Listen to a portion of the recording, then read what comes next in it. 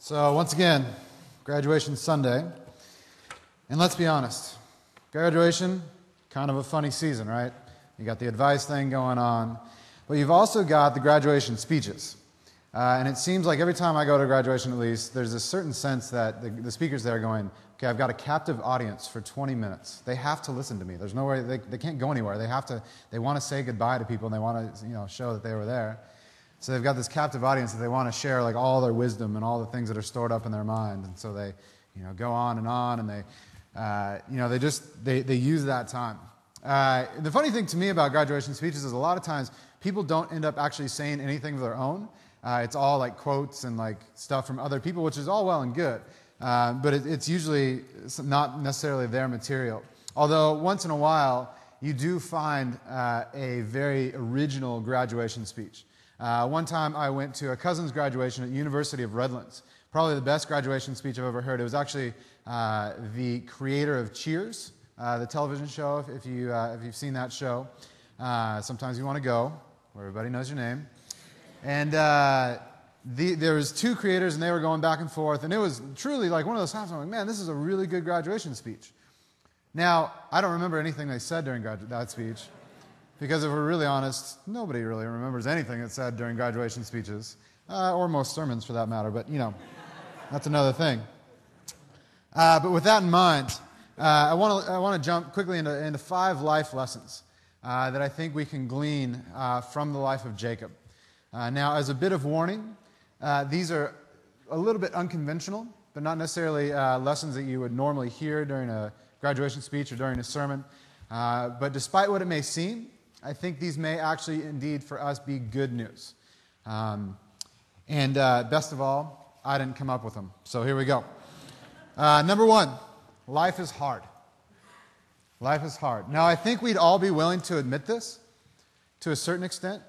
And how many of our mistakes, how much trouble do we get ourselves in trying to make life easy on ourselves? Okay? Husbands, be honest. How many times have you guys gotten in trouble with your wives for trying to take some sort of shortcut, okay? Or kids to your parents, or, you know, we, we just get ourselves in so much trouble when we try to, to make things easy on ourselves. For example, uh, when Annie and I first moved down, we had some friends over for a party. I don't remember what sort of party it was, but I do remember there being ice cream and cake. And one of our friends had a, you know, one of those little cake plates, and he was eating it. And he was walking along, and he dropped a little bit of ice cream on the floor. And he didn't realize that anybody was watching him, so he kind of looked at it, looked at the ground, just went, rubbed it in with his foot. Now, what little he know, Annie's sitting there watching him, and uh, not not really something you want to do when she's watching you. And so he was like, oh, and you know, he's like, I could get a napkin. She's like, it's a little late for that one, my friend. but you know, like I've done way worse stuff than that. Let's be honest. Um, when Annie and I lived up in Menlo Park, she had a uh, Toyota Celica, is a like a 2000 or something like that and one day she let me borrow it to go to the grocery store. And I had pulled into the Safeway parking lot, and there was a shopping cart in the way. Always a shopping cart in the way, right? There's always something in the space that you want.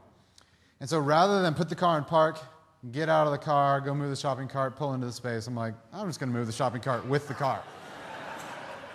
Great idea, trust me.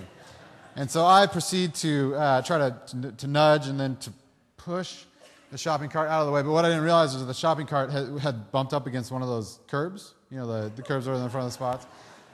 So I pretty, put a pretty good dent um, in Annie's car. Now, that's bad enough. But then when she asked me about it a couple weeks later, I'm like, I don't know. No idea how that happened. Maybe it was a troll. I don't know.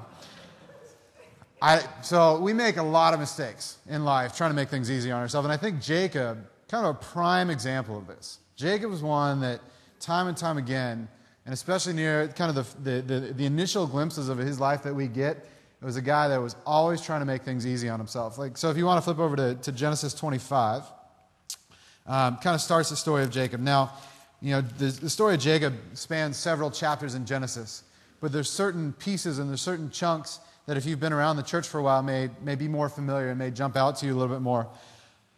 So, uh, Genesis 25 tells the story of the birth of Jacob and Esau. They're kind of wrestling around in the womb, and uh, Esau comes out first, and Jacob comes out grabbing onto Esau's heel. Kind of this foreshadowing, if you will, of what their relationship's going to be like. And then it tells a story or it kind of gives a glimpse into what sort of family dynamics are going on. That Esau was his dad's favorite, Jacob was his mom's favorite. Let me tell you right now, not real healthy family dynamics. You know, that, that's setting up for some drama right there. And then it goes into the story about how Jacob steals his brother's birthright. Apparently, birthright was something that, that Esau was able to give away. And so uh, Jacob is there at home cooking, uh, making some tasty stew. Jacob comes in, I'm sorry, Esau comes in from the fields, is super, super hungry, famished, you know, on the point of death, he says. And his brother says, I will give you some of this as long as you give me your birthright. You know, so again, trying to make it easy on himself, steals his brother's birthright. And so in the chapter 25 of Genesis ends with um, verse 34, which says, Then Jacob gave Esau some bread and some lentil stew. He ate and drank and then got up and left. So Esau despised his birthright. So already there's kind of this tension. There's this, you know, there's, there's something going on here. But then even more kind of profound and even more dubious is when is a couple chapters later in chapter 27 when Jacob steals his brother's blessing. Now this isn't this was straight out deception. This wasn't like, you know, just kind of craftiness. This was straight out deception with the help of his mom. A little bit weird. Uh, but if you've heard the story before, you know that um, Isaac says to his oldest son Esau, Hey, go Go hunting, bring back some food so that I can give you my blessing. The mom, Rebecca, says, Hey, Jacob, we've got a perfect, a prime opportunity here. Go ahead and uh, get me some goats, bring them in, I'll make up, you know, this meal. And Jacob starts to put it together and go, in, uh, in, in verse 11 and 12, he starts to go, wait a minute. Like, what's going on here? He says, Jacob said to Rebekah, his mother, But my brother Esau is a hairy man, while I have smooth skin. What if my father touches me? I would appear to be tricking him, tricking him, and would bring down a curse on myself rather than a blessing. So Jacob realizes that something's going on. He knows this is, this is a little bit suspect, a little bit, a little bit shady. And yet he continues to go along with it. Um, if you know the story, you know that, that Jacob is, successful, that, that Isaac blesses him, and then Esau comes in right after, and Isaac's like, wait a minute, who was that that I just blessed then? And, and, and you get to the end, or near the end of, of 41, or I'm sorry, of uh, chapter 27 and verse 41. And it says, Esau held a grudge against Jacob because of the blessing his father had given him. He said to himself, The days of mourning for my father are near. Then I will kill my brother Jacob. You know, we've all probably been in the, in the situation in families where, you know, something happens, especially with a sibling for some reason. You're like, dude, I'm going to kill him. You know, like there's just something that happens. And yet, this is probably a little bit more profound. This is probably a little bit more um, legitimate um, in terms of what Esau says about his brother Jacob. Now, I think it would probably be a little bit healthier, actually, a lot healthier, if we were to realize from the, from the outset that life is hard, that we're all marked for suffering, we're all, all marked for hard times. Nobody really gets out of it, gets out of life without it. Ash Wednesday this year, I was sitting up in the balcony over in here, in this section here, and I was thinking about a couple of different families that, that sorry, uh, that I'm associated, or that I know, kind of through a couple different circumstances. One was uh, a family that, that Annie was connected to, who on the night of Valentine's Day uh, put their 10 month old daughter to bed, and she didn't wake up in the morning. And so I was thinking about her, and then I looked down into this section here, and there was a family here um, who had lost a son a couple years ago, a son who actually we would be celebrating today as a graduate. And I'm like, man, these people know suffering. They know that life is hard. There's no, there's, they, they, there's no way that they can get around that. And we, you may not have lost a child, you may not have gone through something like that. And yet, we, we've all have stuff in our lives that we need to mourn and that we need to grieve. Life is hard.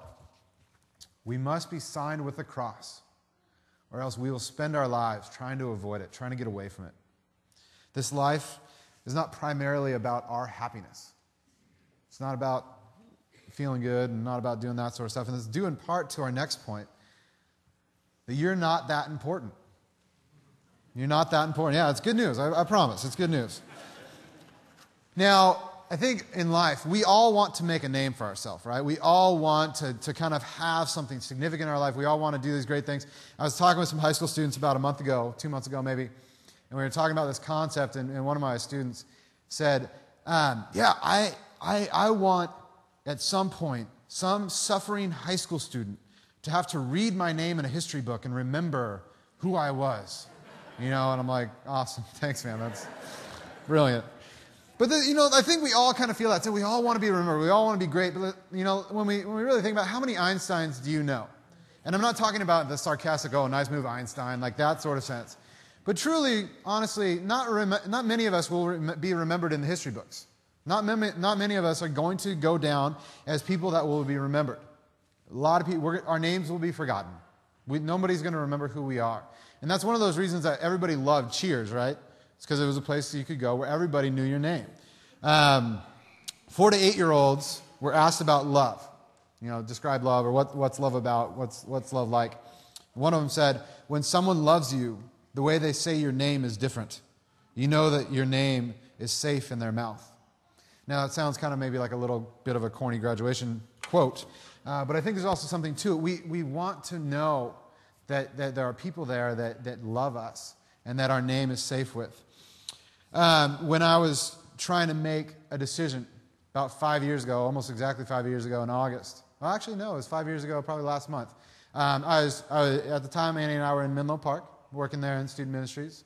Um, I had an offer to come here to Solana Beach, and I also had an offer to uh, work with my buddy Joe out in Atlanta. Um, and I'm very much one of those people that takes things very seriously and kind of stresses about things and feels a lot of times like the whole world is on my shoulders. I don't know if you like that at all, but that's definitely my personality. So as I was trying to consider these three different options, I'm like, man, what if I make the wrong decision? Well, you know, what if I totally screw up everything? This is going to be awful. And my buddy Joe, one of the people that, that I was you know, considering taking a job from, he looks at me and he says, Stu, you're not that important. Honestly, that's what he said to me, which was a really good reminder for me. It's, it's actually good news because a lot of times we feel like we have to prove ourselves, we feel like we have to, to, to prove that we're important. And we are infinitely important to God.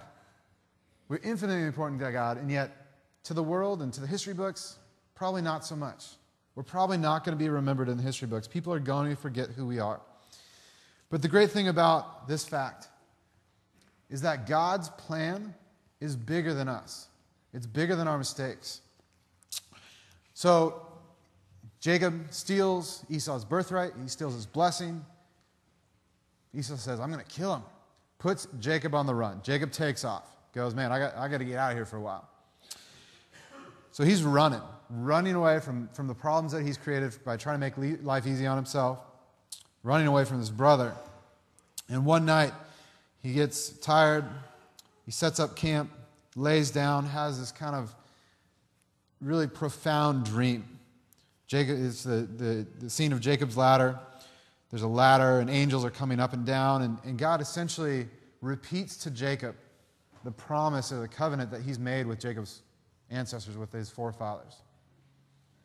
Jacob wakes up in the morning. He says, when Jacob, uh, verse 16 of chapter 28 says, when Jacob awoke from his sleep, he thought, Surely the Lord is in this place, and I was not aware of it. How often do we find ourselves in a, in a situation where, whether through our, our mistakes or the mistakes of others, we man, man, there's no way that God is here.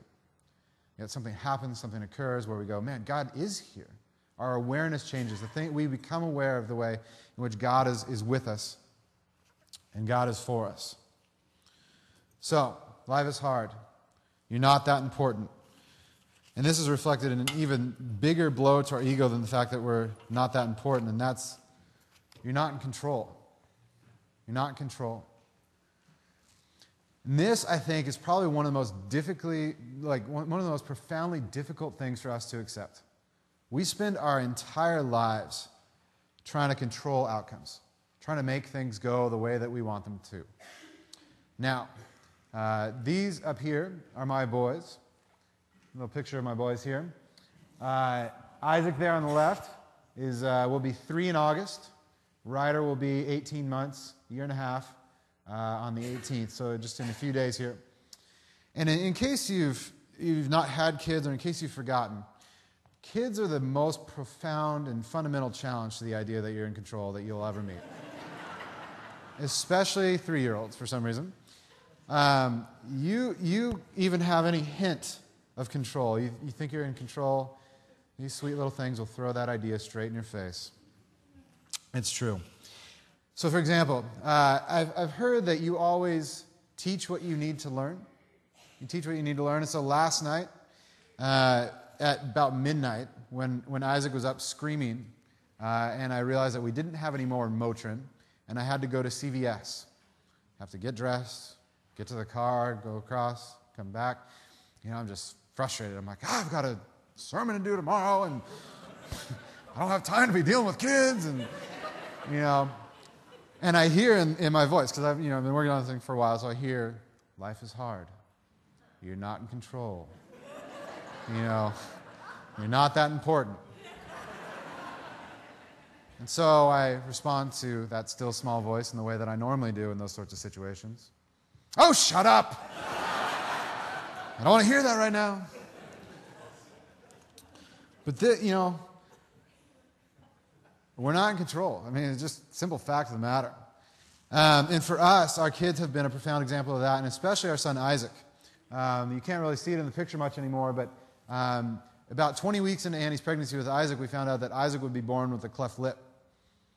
And as a parent, you, you don't necessarily, I mean, you have expectations, but they're probably not um, conscious until something challenges those expectations. And so, from a very early time in, our, in Annie's pregnancy with Isaac, we realized, man, we're, we're simply not in control of this thing. We wouldn't have asked for Isaac's cleft necessarily, um, yet it's been a very profound blessing in our life.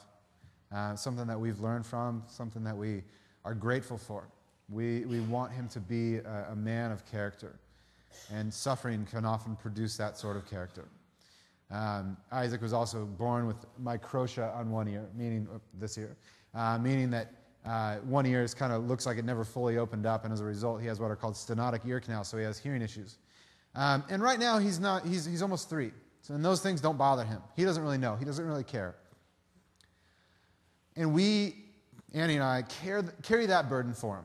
We, we know that at some point someone's going to make fun of him. Just it's kids. I mean, that's what they do, right? Um, and, but someone's going to make fun of him for his cleft, or he's got a little red scar there, or from his ear, or the fact that he wears a hearing aid, or something along those lines.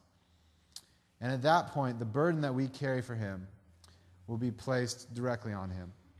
And it will double our burden, because we will carry his burden as well. And that kills me to think about. You don't want your kids to suffer, you don't want your kids to have heavy burdens. And yet, when I think about what happens with kids who always get what they want, those kids are rotten people, right? You know, it's like, I don't want one of those kids. Forget that. So our hope and our, in our, in our prayer for Isaac is that this, the, his cleft and his hearing issues and, and all the other things that he goes through will be chances and opportunities for, for character and for redemption. As Jacob kind of, kind of progresses, um, he makes a decision to, to, to, to rejoin with his brother and to meet his brother again. And the night before this happens, the night before he is to meet his brother, he wrestles with God. You find this kind of really interesting story, this really interesting episode in Jacob's life. So he's left all alone. Chapter 32, verse 23, it says, He sends all his family across. And then in 24, it says, um, So Jacob was left alone. He's alone. He's, not, he's, he's there by himself. And a man wrestled with him until daybreak. When the man saw that he could not overpower him, he touched the socket of Jacob's hip, and that hip was wrenched as he wrestled with the man. Then the man said, Let me go, for it is daybreak. But Jacob replied, I will not let you go unless you bless me. The man asked him, What is your name? Jacob, he answered. Then the man said, Your name will no longer be Jacob, but Israel, because you have struggled with God and human beings and have overcome. Jacob said, Please tell me your name. But then he replied, Why do you ask my name? Then he blessed him there. So Jacob, even in this wrestling, wrestling a healthy thing in a relationship with God, asking questions, expressing doubts. But Jacob still, at the end of it, it's like, man, tell me your name. Like, I want to retain kind of some control. I want to, I want to, to kind of have some control. Yeah, he goes, no, you're not in control. Verse 31. The sun rose above him as he passed Peniel, and he was limping because of his hip. We cannot pin God down. It's just one of those fundamental theological lessons. And sometimes, as we wrestle with God, as we interact with God, God touches us in a way that causes us to limp. A reminder that we're not in control, and a reminder that there's something beyond us. And maybe you limp because of, a, because of control and because of a lack of control, because of the way that God has touched your life. Maybe that limp is not a curse, maybe that limp is a blessing. The continual realization that we're not in control prepares us kind of for the ultimate example of this. Number four, you are going to die. It's good news, I promise. And this is the ultimate. This is the ultimate in lack of control and in lack of importance. Someday you are going to die. Now, for certain things, there are people that have said it better than someone else can. So I want you to watch a, uh, a video clip here of one of the most profound 21st century theologians, Bill Murray.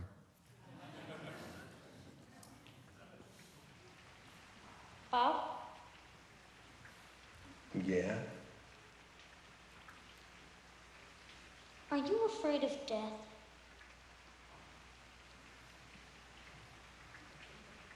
Yeah. Me too. There's no way out of it. You're going to die. I'm going to die. It's going to happen. What difference does it make if it's tomorrow or 80 years?